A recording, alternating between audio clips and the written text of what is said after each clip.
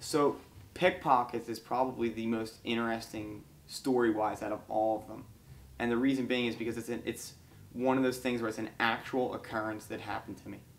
It's a, it's, a, it's a real story that just ended up happening right later on. So I was up in, um, we had just recently gotten back from somewhere overseas and I had to go to Penn Station.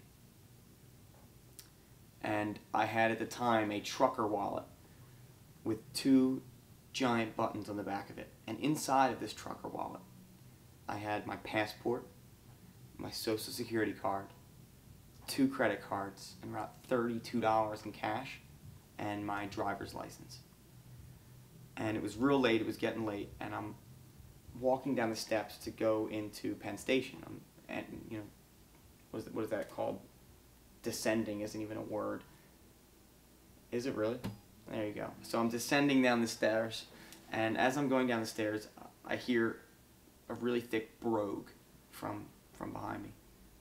And you know, brogue for those you don't know, it's an Irish accent, and and stereotypically enough, the guys that were carrying the brogue, they had uh, been drinking apparently, and they stunk really bad, like whiskey and rum. And so I'm I'm getting I get my ticket and stuff, and uh, I go stand over and wait because I had a good like 40 minutes to kill until my train came. And these guys are walking around doing card tricks.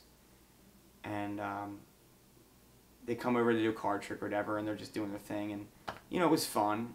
And then they walk away and they're laughing. And the one guy pats me on the back and they walk away. About 10 minutes go by.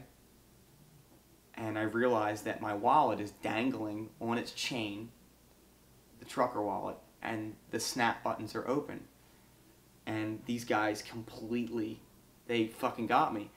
Really good. I didn't feel a thing. I had no idea it was coming. I had no possible recollection of how they pulled this up off other than i knew that they did a card trick and that was it. So you know this was a few years later that i actually wrote this song. I was just sitting there laughing about the fact that i'm a sick fuck. Because even though they stole my wallet i'm sitting there going like you know what i admire them somehow I admire them. I admire these guys because they. I've always wanted to be able to do that. I've always been able. I've always wanted to be able to just walk up to somebody and just go, do a magic trick and bang. I have all their information. I have their wallet. I got their cash or whatever. And that's that's the horrible human being in me coming out. Every guy that I know thinks, you know, hey, it'd be great to be able to to be able to pull something out of someone's pocket without them knowing that you took it, even if you're just doing it for a prank.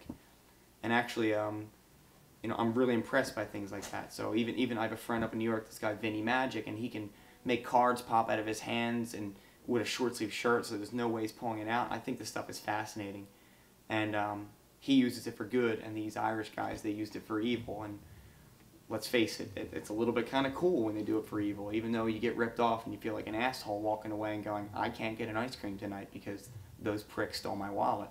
It's still pretty cool. So I wrote this song about it. It was the pickpockets. They call themselves the Madison Squares.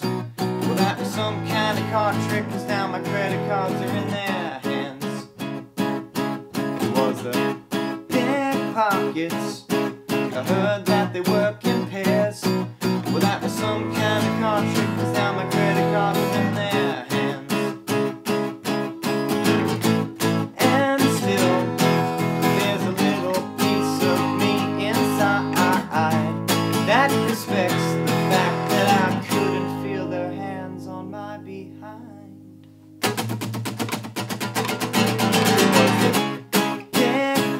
pockets. They call themselves the Madison Squares. Well, that was some kind of card trick, cause now my credit cards are in their hands.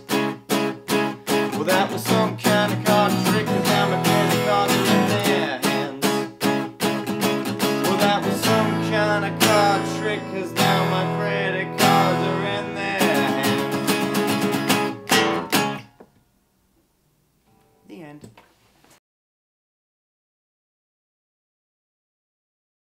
this that this is seriously like my I think if not my second favorite, my third favorite song off the whole thing, even though it's so short. Pickpocket? I don't know why.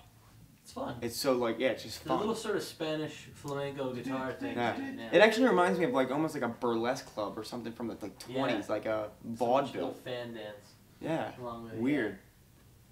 I want to record it with horns. I like horns. Yeah. Yeah, that would be awesome. Kettle drum. Almost like that radar love type of feel. You Yeah. know? Driving on down, you know, and-